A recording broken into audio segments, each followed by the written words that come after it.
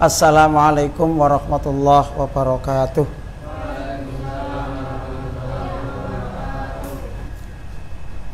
Innal hamdalillah alladzi nahmaduhu wa nasta'inuhu wa nastaghfiruh wa na'udzu billahi min syururi anfusina wa min sayyiati a'malina. May yahdihillahu fala mudhillalah wa may yudlil fala hadiyalah.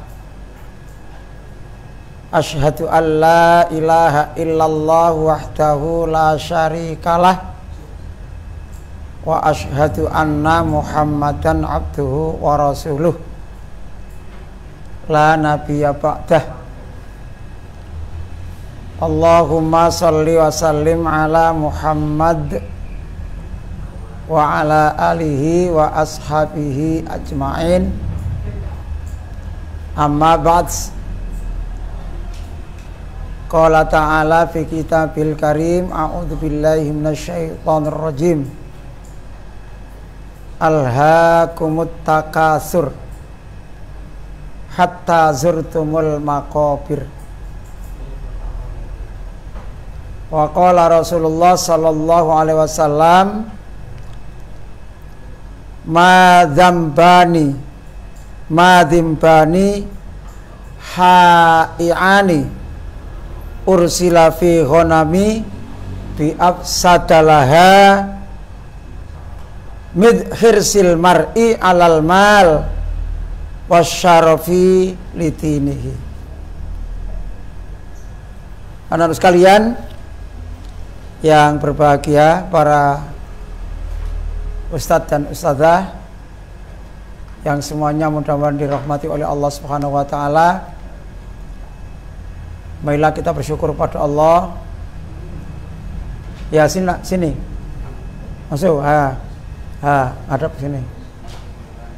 Atas limpahan rahmat nikmat yang dikaruniakan kepada kita semua sehingga pada sore ini Rebu atau Rabu 13 Oktober 2000 21 kita kembali bisa belajar bersama dengan materi ismu al-Islam dan kemuhammadiyaan. Dan dalam kesempatan ini saya akan menyampaikan terkait dengan akhlak di mana akhlak itu juga tidak bisa lepas dari hati yang sudah kita pelajari beberapa kali atau penyakit hati. Dalam sebuah hadis Rasulullah yang juga pernah saya sampaikan Inna fil jasadi mudghah. Sesungguhnya dalam diri manusia itu Dalam jasad itu Ada yang namanya mudghah Segumpal darah. Fa in saluhat saluhat jasadu kulluh apabila segumpal darah itu baik maka baik seluruh tubuhnya. Wa in fasadat fasada jasadu kulluh apabila segumpal darah itu jelek maka jeleklah seluruh tubuhnya. Ala wahyal kolab itulah yang namanya kolbun. Itulah yang namanya hati. Menurut sekalian, apa yang kita perbuat, apa yang dilakukan oleh setiap manusia, itu mencerminkan isi hatinya. Apa yang diucapkan oleh setiap orang itu juga mencerminkan hatinya. Kalau perbuatan orang itu baik, itu cerminan bahwa dalam hati orang itu baik. kalau ucapan-ucapan orang itu baik, tidak menyinggung perasaan orang, tidak suka berkata kotor, tidak suka ucapan-ucapan yang menimbulkan orang lain tersinggung dan sakit hati, berarti ucapannya baik, itu juga cermin apa yang ada dalam hatinya. Sebaliknya, kalau orang itu perbuatannya tidak baik, perbuatannya merugikan orang, perbuatannya mengganggu orang, perbuatannya itu suka membuat orang tidak nyaman, itu juga cerminan hati. Cerminan hatinya. Ini, itu cermin hati. Demikian pula ucapan kalau orang itu suka berucap yang tidak baik, sampean kan pernah dan sering mendengarkan. Itu juga tidak lepas dari ucap apa? Isi hati orang tersebut.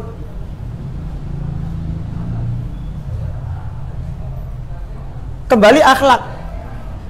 Karena materi saya al-Islam itu ada fikih, ada akhlak, ada akidah dan dalam kesempatan ini Pak Akan menyampaikan kaitannya dengan akhlak.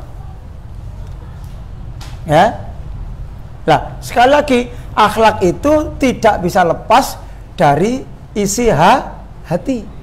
Karena akhlak itu apa? Kemarin masih ingat? Apa akhlak itu?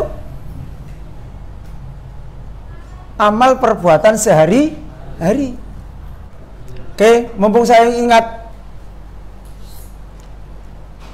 ada ibunya teman kita meninggal kemarin. Ya, ibunya siapa?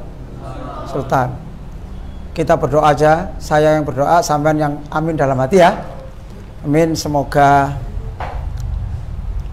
amal kebaikan ibunya Sultan, Bu Nelly, Bu Nelly, Bu Nelly, semua kesalahannya diampuni oleh Allah semua amal kebaikannya diterima oleh Allah Subhanahu wa taala. Karena Bu Nelly ini setahu saya aktif di Aisyah. Pengajian Aisyah juga aktif, pengajian apa aja aktif dan termasuk ikut membesarkan Aisyah Kerembangan. Ya. Kita berdoa semoga doa, doa kita dikabulkan oleh Allah Subhanahu wa taala. A'udzu billahi minasyaitonir rajim. Bismillahirrahmanirrahim. Alhamdulillahirabbil alamin wassalatu wassalamu ala asyrafil mursalin wa ala alihi wa ashabihi ajmain. Allahumma ighfir lahu warhamhu wa afihi wa'fu anhu wa akrim nuzulahu wa wasi' madkhalahu waghsilhu bima'in wa naqihi minal khotoya kama yunaqqas sawbul abyad minad danas Allahumma daran khairan min darihi wa ahlan khairan min ahlihi wa zawjan khairan min zawjihi wa qihi fitnatal qabri wa adzabah Rabbana atina fid dunya hasanah wa fil akhirati hasanah wa qina adzabannar walhamdulillahi rabbil alamin amin Kembali tema akhlak. Untuk hari ini saya akan menyampaikan akhlak yang jelek. Akhlak itu kan ada dua ya. Ada akhlak yang baik, ada akhlak yang jel jelek. Akhlak yang baik antara lain artinya akhlak yang baik itu apa istilahnya? Akhlak yang baik namanya apa? Akhlakul karimah atau akhlakul mahmudah. Kalau akhlakul karimah itu akhlak yang mulia. Kalau akhlakul mahmudah akhlak yang terpuji. Sesungguhnya sama. Cuma istilahnya mulia dan terpuji. Kalau akhlak yang jelek namanya akhlakul mazmumah, akhlak yang tercela. Nah, dalam kesempatan ini supaya akhlak yang tercela ini tidak ada pada diri kita tidak ada pada diri saya dan sampean semua ya temanya pada sore ini adalah tamak tamak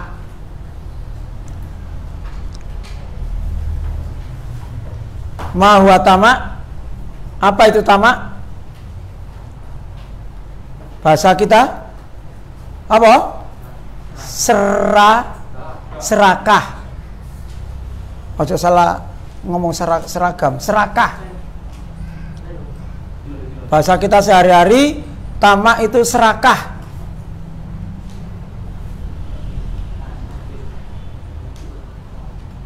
kalau serakah itu artinya apa semuanya kepengen dimiliki sendiri itu kan kepengen dimiliki sendi sendiri apa saja kepengen memiliki sendiri itu namanya tamak. Kalau ada orang lain memiliki sesuatu, dia juga ingin memiliki. Bahkan kalau bisa milik orang itu akan bisa direbut dengan berbagai cara untuk menjadi miliknya sendiri. Itu namanya serakah. Contoh,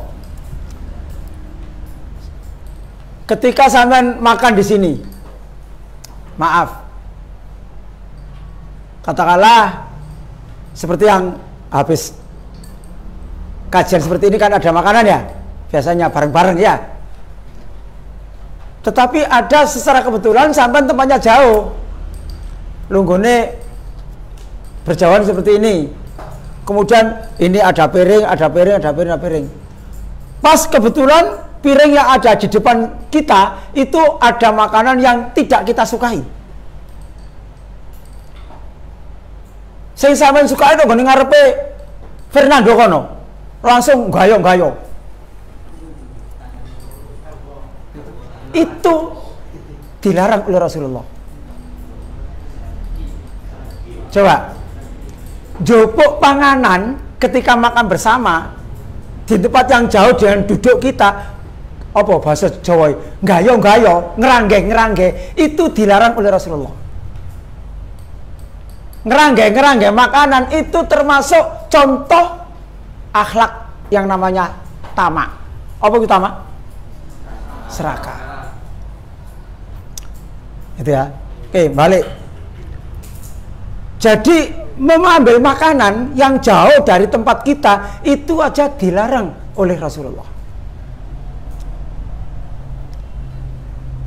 Sampai belum pernah makan bersama dengan orang Arab. Oh luar biasa. Saya sudah beberapa kali, sering, sering kali makan bersama kunduranan gitu ya dengan orang-orang Arab. Ya tadi itu. Orang Arab itu kalau sudah ya tidak semuanya sih. Kembali orang yang akhlaknya masih belum baik. Begitu makanan dimulai itu gayung-gayung ini. Semua ada-ada dicubuki kabeh, tinggal bagi piringnya saya ya roro ngomplong gak oleh apa-apa blas. Tidak apa-apa. Artinya apa saya, saya ungkapkan seperti itu itu termasuk akhlak yang tidak baik itu termasuk bagian sifat ta tamak nggak boleh nggak boleh sifat tamak karena itu serakah itu tidak boleh ada sebuah hadis Nabi Rasulullah SAW nanti saya mencatat terjemahannya saja. Saya baca dulu, tadi sudah saya baca Arabnya, nanti saya tulis terjemahnya. Saya baca Arabnya dulu. An Kaab ibnu Malik dari Kaab bin Malik. Nanti aja. Kola dia berkata, Kola Rasulullah Sallallahu Alaihi Wasallam Rasulullah Sallallahu bersabda, Madim bani khai'ani dua serigala yang lapar ursila fi honami yang dilepas di tengah-tengah kumpulan kambing biaf sadalaha tidak lebih merusak min khirsil mar'i dibandingkan dengan sifat tamak manusia alal mal terhadap harta wasarofi dan kedudukan fitinihi. Coba tulis sekarang terjemahnya. Sabda Rasulullah. Sabda Rasulullah.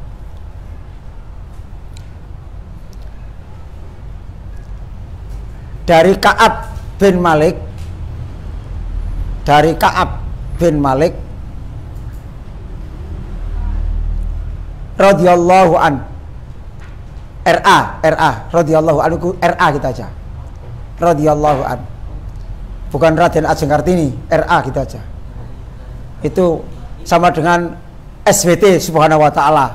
Sama dengan SAW sallallahu alaihi wasallam. Kalau RA itu radhiyallahu an Kola dia berkata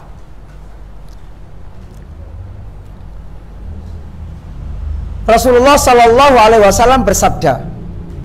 Rasulullah Sallallahu Alaihi Wasallam. Kalau Sallallahu Alaihi Wasallam aja terus KB SAW ngono Jangan SBT. SBT itu Subhanahu Wa Taala.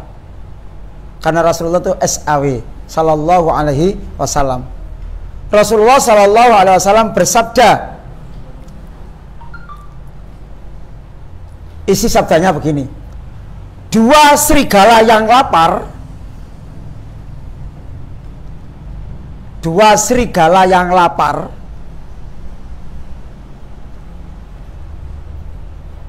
dilepas dilepas di tengah kumpulan kambing di tengah kumpulan kambing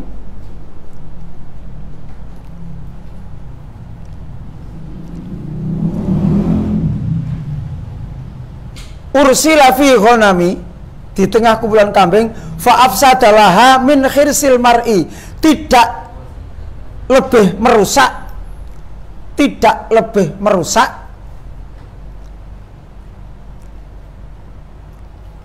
Dibandingkan dengan sifat tamak tidak lebih merusak dibandingkan dengan sifat tamak manusia terhadap harta dan kedudukan.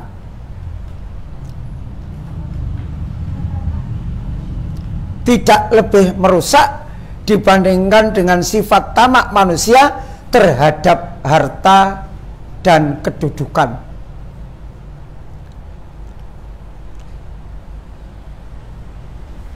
Terhadap harta dan kedudukan. Gini anak-anak. Jadi kambing itu ibaratnya memang secara umum serigala itu kalau kambing mesti langsung dimakan seri, kambingnya itu. Nah ini ada dua serigala yang lapar dilepas di tengah-tengah kerumunan kambing itu saja tidak lebih membahayakan dibandingkan bahayanya orang atau manusia yang memiliki sifat ta tamak. Kalau orang itu sudah memiliki sifat tamak, jauh lebih berbahaya daripada serigala yang la, lapar. Kenapa? Serigala yang lapar itu namanya hewan. Hewan itu masuk sak lapar-lapare, wis mangan wetenge warek leren.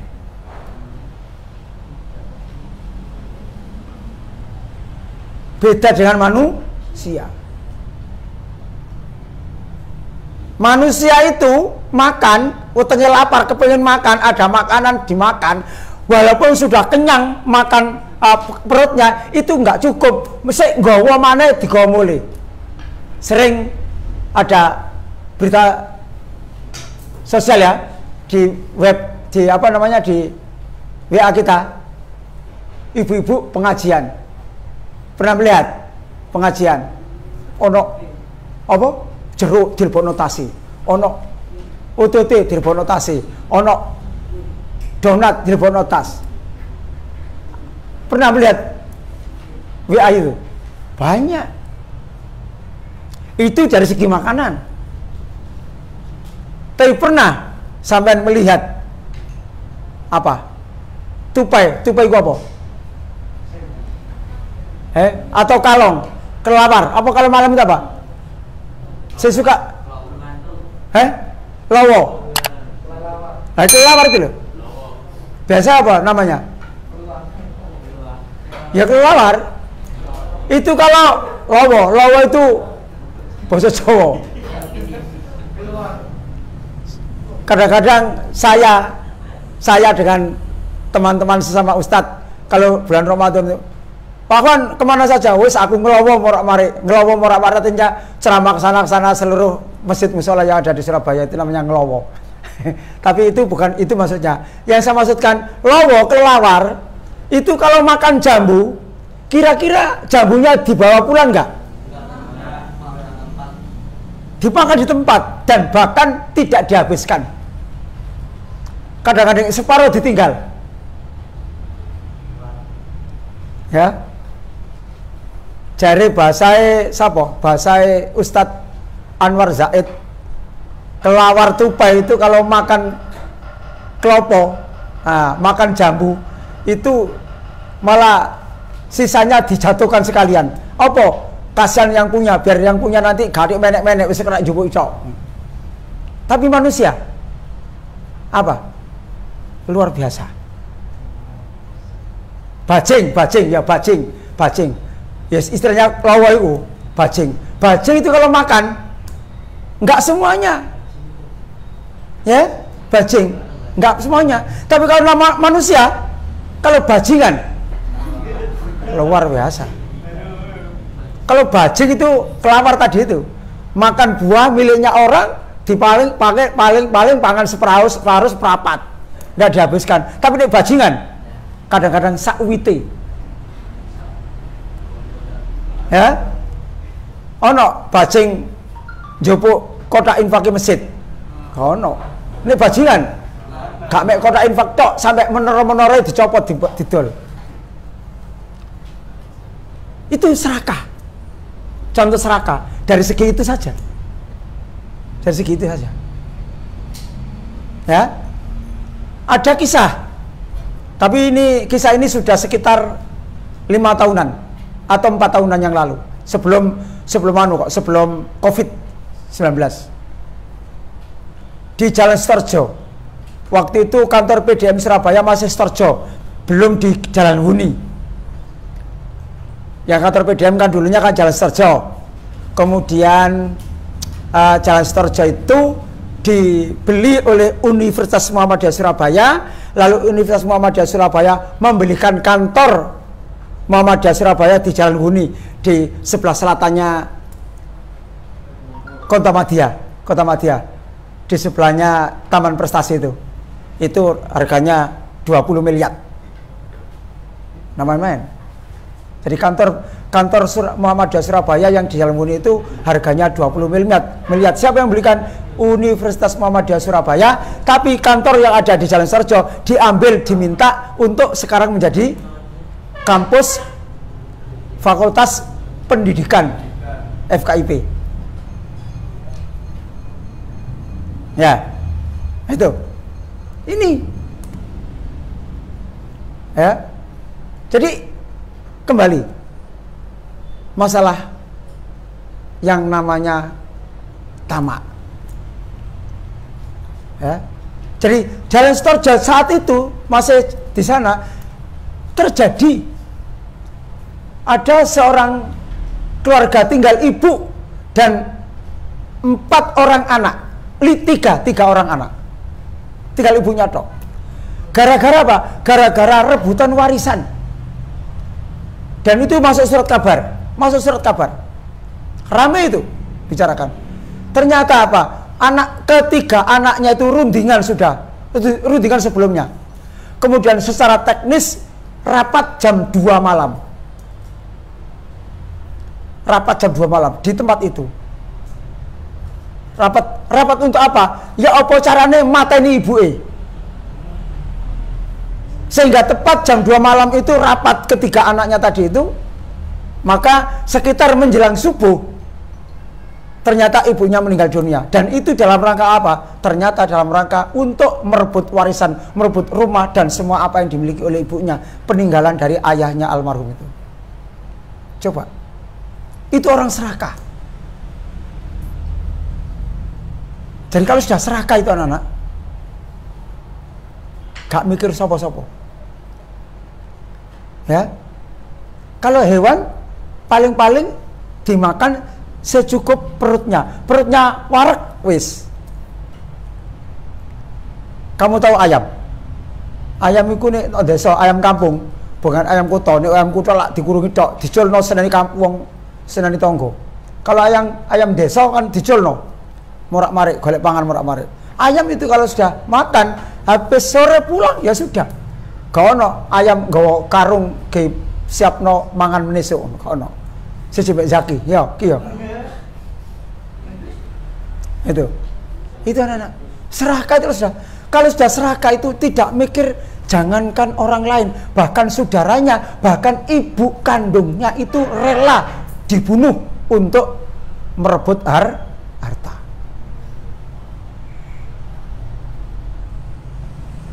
itu termasuk di dalamnya pola cara mencuri dan lain-lain, merampok, mencuri dan sebagainya itu. Nah, ini makanya dikatakan oleh Rasulullah SAW menurut riwayat dari Kaab bin Malik tadi itu bahwa Rasulullah SAW menyampaikan dua ekor serigala yang lapar dilepas di tengah-tengah kambing itu tidak lebih merusak dibandingkan dengan manusia yang memiliki sifat tamak. Makanya di dalam hadis Rasulullah SAW menyampaikan dan bahkan di dalam di dalam kita berdoa setelah duduk tahiyat akhir ya duduk tahiyat akhir setelah tahiyat sebelum sebelum salam kita baca apa? Allahumma inni a'udzubika min adzabi jahannam wa min adzabil qabri wa min fitnatil mahya wal mamat wa min syarri fitnatil masihid dajjal. Fitnah dajjal. Sudah pernah mendengarkan apa itu dajjal? Pernah? Apa itu dajjal dalam hadis Nabi dikatakan ada yang namanya nanti di akhir zaman itu akan ada makhluk yang namanya dajjal Tahu Dajjal? Apa? Apa Dajjal? Dajjal. Dajjal itu kata Rasulullah dalam riwayat yang lain, Dajjal itu adalah manusia berkepala binatang. Iling-iling Zaki. Zaki. Ya. Ki, pin. Pin. Dajjal itu manusia berkepala binatang bermata satu dan suka memakan manusia.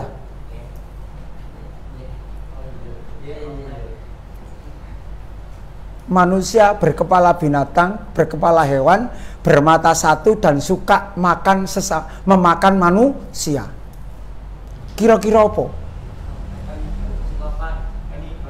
Beberapa kanibal kayak kemarin apa so? Sumanto. Apakah seperti itu? Wallah alam.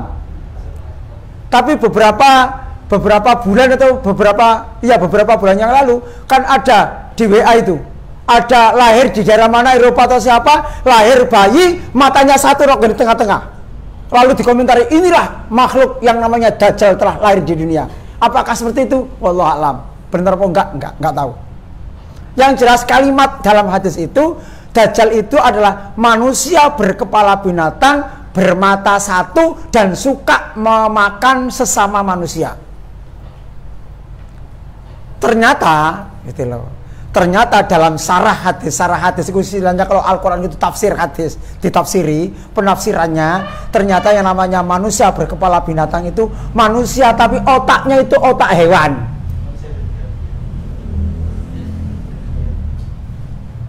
otak hewan kamu pernah mendengarkan ada seekor kambing kasihan terhadap yang lainnya ada ada ya secara kebetulan aja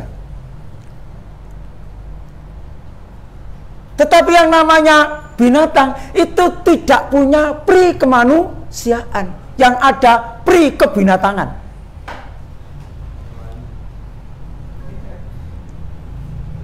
Buktinya apa? Banyak.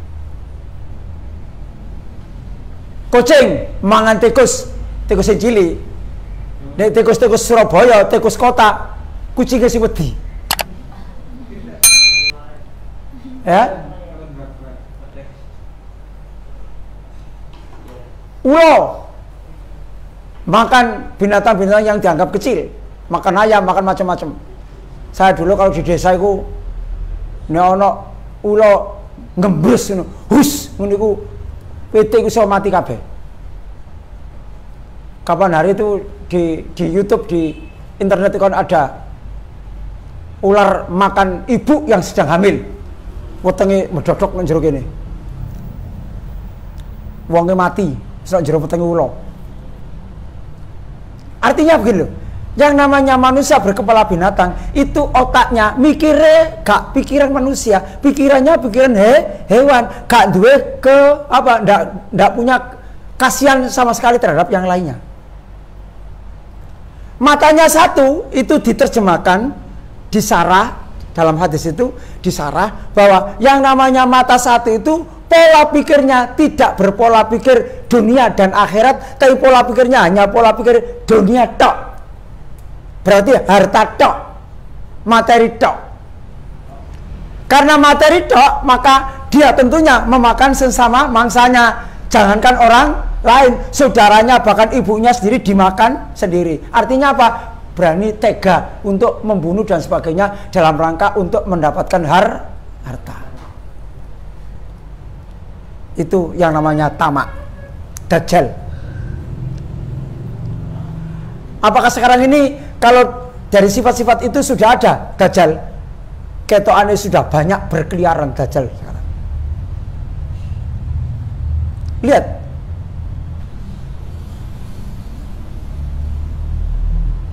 Nah, yang kecil-kecil tadi itu. Contoh kecil itu contoh besar orang dewasa. Contoh kecil sampean ketika tadi saya contohkan ketika makan bersama. Ojo sampai gayo-gayo yang jauh dari tempat duduk kita. Itu berarti kita tergolong orang yang tamak. Oleh karena itu anak sekalian, ciri-ciri orang yang tamak. Nah, sekarang tulis ciri-ciri orang yang tamak.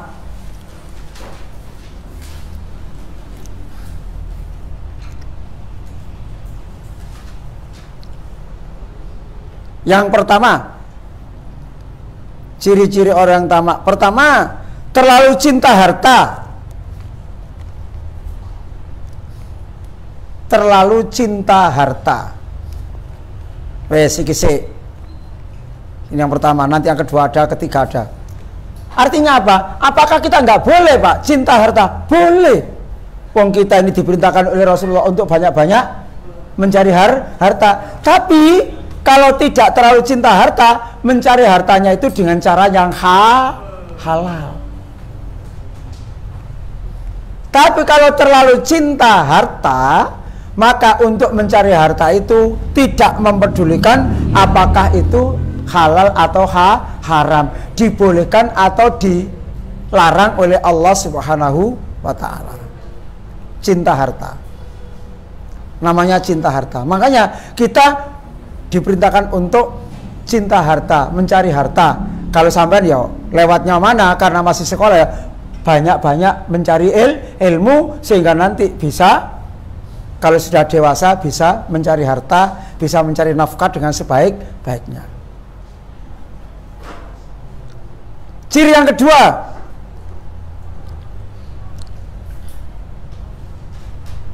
terlalu semangat mencari harta terlalu sama, semangat mencari harta. Namanya terlalu ya melebihi. Terlalu semangat mencari harta sehingga tidak melihat waktu. Tidak melihat kondisi. Saya ulangi, yang kedua, terlalu semangat mencari harta sehingga tidak melihat waktu, tidak melihat kondi, kondisi.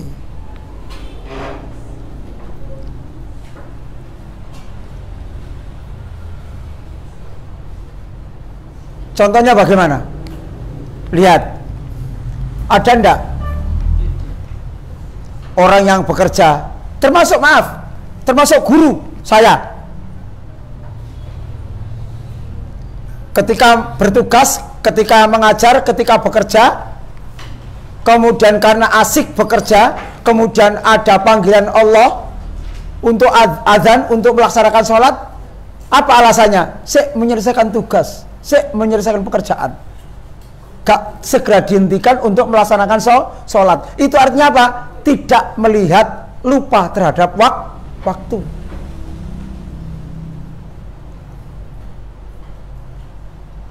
Sampean gimana sampean? Sampean suka main HP? Awas. Apakah itu lihat YouTube, apakah itu lihat main game atau apa, kemudian sudah terdengar adzan, Allahu Akbar, Allahu Akbar, hayya ala sholat. Ham. Mana ilham? Nanti ada. Ayo salat. Sik pak, sik bu. Ono sing ngono enggak? Ayo sing oma terutama. Mau bima ya apa mau kon? Ya gitu ya. Kri, kamu ya gitu ya. Ayo. Wis asik. Ayo, najem. Ya apa jem? Ya, wis asik. Main game. Jam, ayo.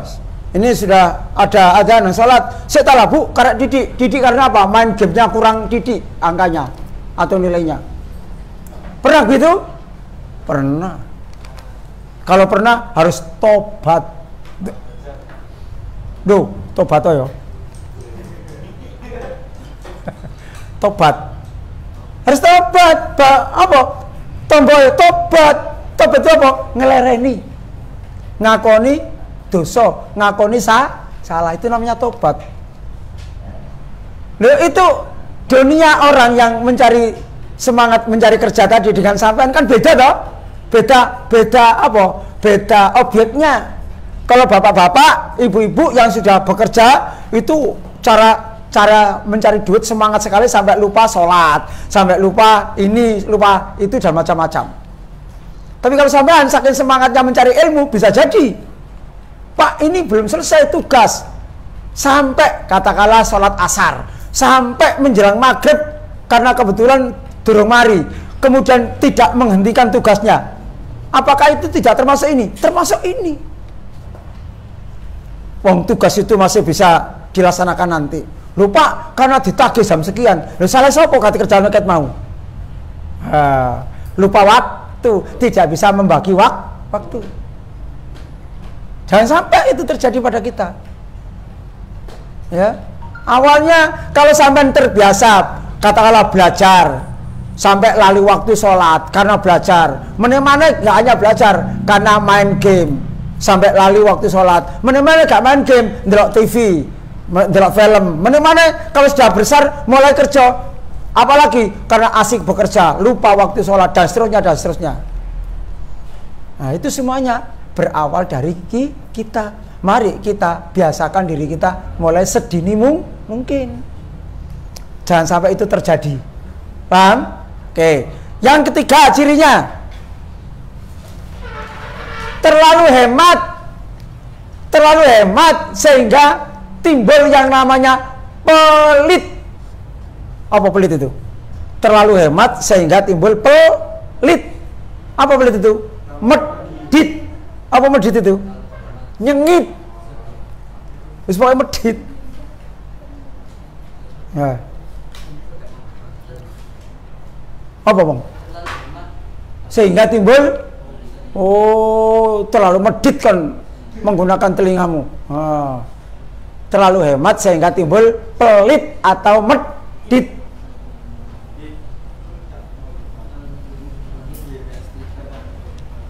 Contoh, angel-angel. Saya bawa pulpen. Ini tadi pulpen saya lupa saya. Ini pulpennya anti ini. Saya bawa, bawa pulpen. Nazem gak pulpen.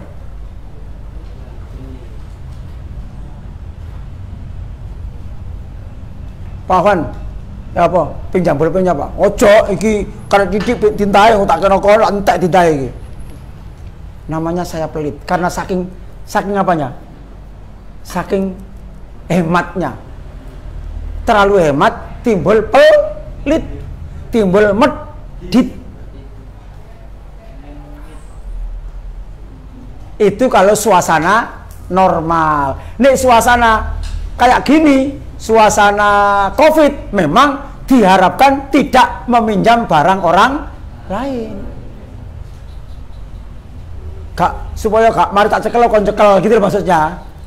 Nih barangmu ya barangmu dewi, apalagi dulu ya awal-awal dulu. Uh, laptop nggak dewi sampai kertas itu. Perkantoran-perkantoran pemerintahan itu di kantor itu uh, harap membawa kertas sendiri. Kau oleh nyilih kertas, kau oleh ngambil kertas milik kantor. Itu dulu ya awal-awalnya si ruang merah covid itu. Sekarang sudah sekali lagi sudah mending dan mudah-mudahan segera hi, hilang. Amin ya robbal alamin. Sing jelas itu terlalu pedit sehingga timbul pelit. Ayo gerayang ono jicokmu. Endi jicok itu? Kene apa kene? Nah, jicok. Ketika Pak Awan kecil dulu, Pak Awan kecil dulu kata orang tua tua mbak-mbak itu, kau niku aja beli dan jicokmu ngerong. Nek jicoke kene growok, cekong, iku tandane pelit. Bener enggak? Enggak tahu saya. Don. Terus ini rambutnya sing kene panjang, kok kayak ulur-ulur ya, kayak Ya, buntut kayak buntut. Apakah betul Allah alam? Itu hanya kata orang tua kita dulu mengajari kita ojo pelit pelit. Hemat boleh, memang harus hemat, tidak boleh boros. Tetapi hemat itu tidak berarti tidak boros itu tidak berarti pel pelit. Jangan terlalu pelit. Kalau orang sudah terlalu pelit, terlalu hemat sehingga timbul pelit, itu tandanya orang yang ta tamak sifat orang yang ta tamak serak serakah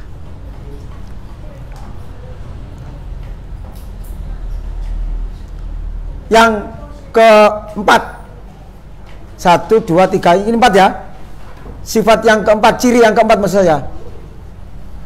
Hidupnya ingin selalu mewah. Hidup yang ingin selalu me mewah. Nah, ini nggak boleh. Kita ini nggak boleh terlalu me mewah, biasalah. Biasalah. Tapi ya cok, karena tidak terlalu mewah, kemudian waktu sholat nggak kaos oblong, itu jenenge gak biasa, itu jenenge meremehkan Allah, itu gak syukur pada Allah kan. Wong sudah dikasih oleh Allah rezeki, ono sing kayak kelambi, isok tuku kelambi, eh sholat. Nggih kaos oblong. Ana tulisan pisan. Tulisan apa? Matamu lapo ndelok aku. Apa? Ada enggak gitu? Ada. Kaos ireng ana tulisannya putih atau tulisan apa lapo matamu ndelok aku ya kalau itu namanya itu namanya tidak apa ya tidak menghargai tidak bersyukur pada Allah itu namanya bukan karena karena ingin hidup sederhana pak, lu gak, gis, gak gitu. Hidup sederhana itu ada tuntunan, tuntunannya. Tidak seperti itu. Allah Subhanahu Wa Taala itu suka yang baik. Allah itu baik dan suka kepada kebaik, kebaikan. Innallah jamil, yuhibbul jamal. Apa? Oh, kon mari di vaksin tak? Oh, kok delok no, kamu kok ketane mau binaragang no? Oh binarangka ya itu Allah itu indah dan suka kepada keindahan. Artinya apa? Lebih-lebih kalau kita sholat menghadap Allah, Allah itu yang memberikan rizki, Allah itu yang memberikan pakaian, Allah yang memberikan makan pada kita sekalian. Maka kalau sholat pakailah pakaian yang sopan. Bahkan kalau sholat Jumat, sholat air raya itu diperintahkan untuk memakai pakaian yang terbaik di antara yang telah kita miliki. Terbaik itu artinya harus baru, boten. Tidak harus baru. Artinya pakaian yang terbaik itu pakaian yang kita miliki yang paling bagus, yang paling baik itu yang kita pakai ketika sholat Jumat, ketika sholat hari raya. Sholat-sholat biasa, baju biasa tapi yang sopan. Ojo nggak kaos oblong. Nggak kelambi Pak, saya sudah pakai baju Pak, tapi bajunya kombrak gambrek padahal ada baju yang bagus baju baju yang sudah suwek kabeh suwek kini gegere ketok gegere supaya anu Pak, supaya kelihatan melas Pak, supaya kelihatan miskin. Ben kok ono sing ngekeki aku klambi sing kekrek digawe kabeh. Wadah itu tidak begitu. Ya, tidak begitu. Paham ya? Itu anak-anak ya. Kemudian selanjutnya kurang sedikit. Hah? Ciri berikutnya yang kelima ya, materialistik. Apa materialistik itu? Hidupnya serba mate, materi. Ma materialistik. Materialistik ya. Materialistik. Artinya hidupnya serba mate, materi. Contohnya apa? Gini, Sampai biasanya mari ngaji ini kan dikai panganan. Ya, ada makanan apa itu gorengan atau apa, kadang-kadang es, kadang-kadang apa gitu ya. Terus selama lima hari berturut-turut sampean gak dikai makanan blas. Gono panganan blas. Mari ngono hari ke-6 mau berangkat pengajian ngaji kayak gini, kak gak ngaji. Apa? Apa kan gak ngaji? Apa? Ketika panganan besok biasa dikai ketika panganan anak yang seperti itu berarti hidupnya ngajinya karena mate materi. Itu namanya materialistik. Bahasa yang lebih tinggi lagi nanti sampai segala sesuatu itu kalau tidak ada nilai materi tidak mau melakukan. Semacam-macam. Macam-macam ini kono ini kono nilai materinya gak gelem dikongkon Pak Selamat siapa misalnya Rangga? Enggak. Tolong enggak? Ambilkan sana di tempat sana gang nomor, nomor ini. Gak dikai buruan. Gak dikai upah ambil Pak Selamat lalu kamu nggak mau melaksanakan. Itu tandanya kamu materi materialistik. Tapi sangoni dikai upah baru gelem. Nah, itu namanya materialistik. Kita nggak boleh seperti itu. Paham ya? Paham ya? Oke. Hari ini itu yang saya sampaikan akhlak terkait dengan tamak, akhlak yang tercela. Mudah-mudahan Allah Subhanahu wa taala memberikan barokah ilmu yang didapat dan salah satu tanda ilmu yang barokah itu sampean bisa mengamalkan. Itu namanya ilmunya barokah. Kita akhiri dengan baca hamdalah dan kafaratul majlis. Alhamdulillahirabbil alamin subhanakallahumma wa bihamdika asyhadu an la ilaha illa anta astaghfiruka wa atubu ilaik. Assalamualaikum warahmatullahi wabarakatuh